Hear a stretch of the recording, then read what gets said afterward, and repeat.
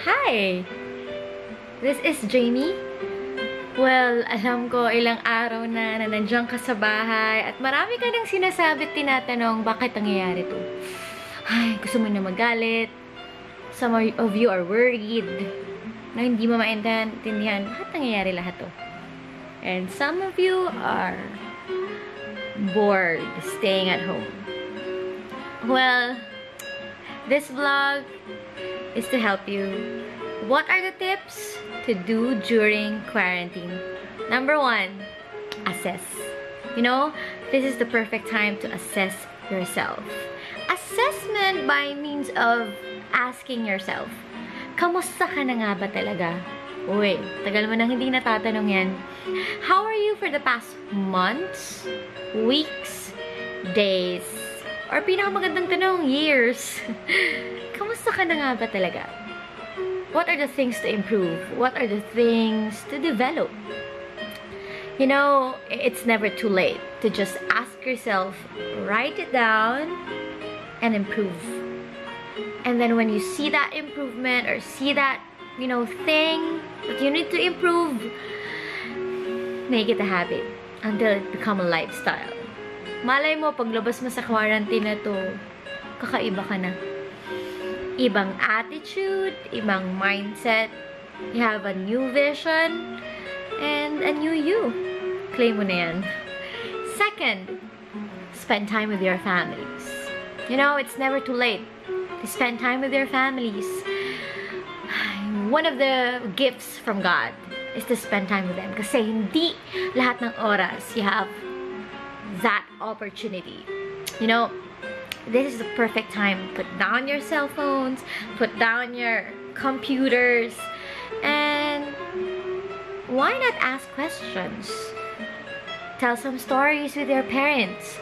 Alam mo ba na isa sa mga pinakamasarap kakwentuhan, plus marami ka pang matututunan, is with your parents. Huwag mahiya. Just grab this opportunity. Pray together. It could, uh, it could also, you could also worship together, do your devotions together, pray.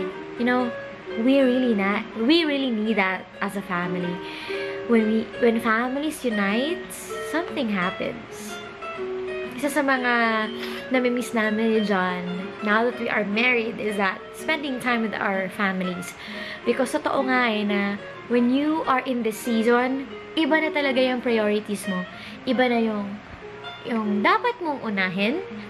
And why not just grab that opportunity na habang kasama mo pa yung pamilya nyo sa bahay, come on, do it. Do it now until it's too late. Number three, be healthy and be productive. You know, kahit nasa bahay ka, I love the word, I love the quote of a writer. He, he said, you know, stay at home, but do not stay the same. Please, magstay ka sa bahay, pero wag mo hayaan na maging katulad ka pa din ng dati. ba? Diba? So, kahit nasa bahay ka, be productive. Look for opportunities to help, um, clean the house, workout, ano pa, um, initiate. Uh, magluto ka, anything that you can do na hindi mo madalas nagagawa.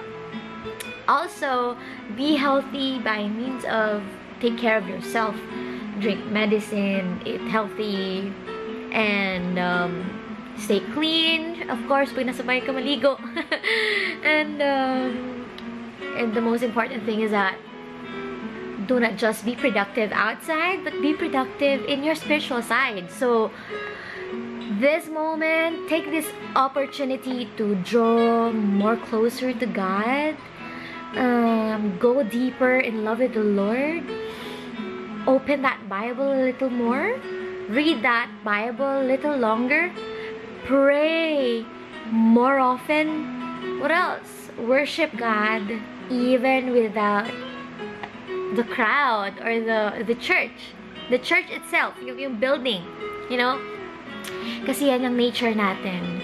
Yan, yan ang nature nating mga tao. We are bound to do something, to create something out of nothing. Yes! So do it!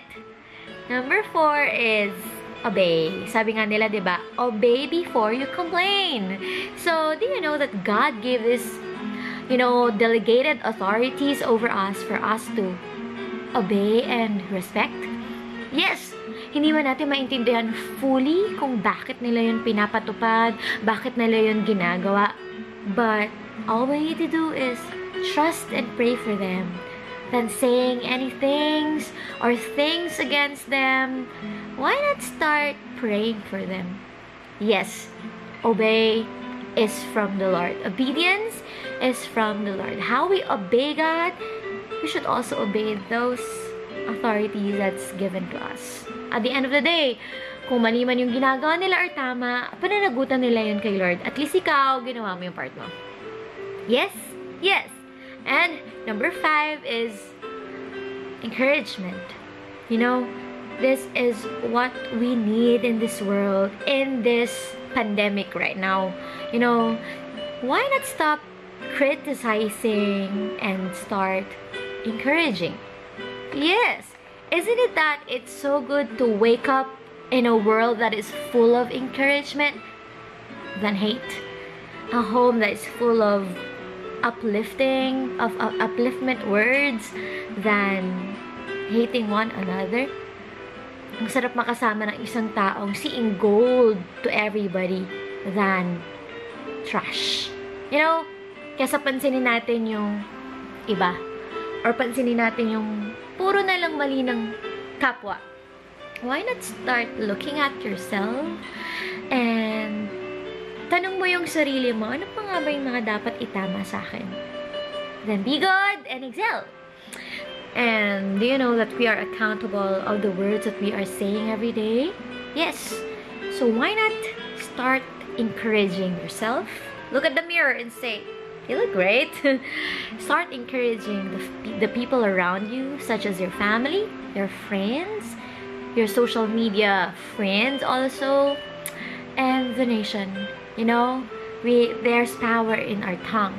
And this tongue can put someone to death and life. So sana maging source ka ng life. Lastly, number six is do not live in fear. I know some of you, you are so fearful right now. Takot ka, baka ma mahawa ka. Takot ka, baka wala ng future. Takot ka, baka maging worse pa yung situation ng buong mundo. Hey, can you just pause a little moment and just ask God and ask yourself, sino nga ba ang may control ng lahat ng ito? Sino ba ang may pagmamayari ng buong mundo? Sino ba yung pwedeng magtanggal ng sakit or ng diseases? Isn't it? It's God. So, instead of asking why, why, why, why, and why, why not begin to trust God? Instead of asking why, begin to put your hope in the Lord. Because you know He is the beginning and end. He is the Alpha and Omega. He is sovereign meaning He knows everything. Wala pa tong pandemic na to. Alam na ng Panginoon ang dapat niyang gawin. All we need to do is just just trust in Him. Pero hindi lang trabaho ni Lord no He is in control. He can you know heal the sick and all that. Pero may trabaho din tayo yes he is in control but you have a job. What's your job in this in this in this pandemic that's happening in the world? You know it's time to go back to god. For siguro for the longest time we've been so busy. Busy ka sa trabaho busy ka sa future ng family mo busy ka sa future mo. And sometimes you forgot the most important things most important thing, and that is the Lord. So why not today go back to Him, believe in Him, make Him your Lord, repent from all your sins, and I tell you, that's your work, and He will tremendously bless you. You know, it's never too late. This is the perfect time to go back to the Lord. So there you have it guys. I hope that this vlog blessed you and do not live in fear anymore because God is in control. God bless you and let's keep on praying for those frontliners, for those people na affected na po ng virus. Let's pray for our government. Let's pray for, for the whole world to come before the Lord because you know this is the key in every plagues and every diseases it is a reminder that we need to go back to jesus christ. So it's never too late. Go back to god. God bless you. See you again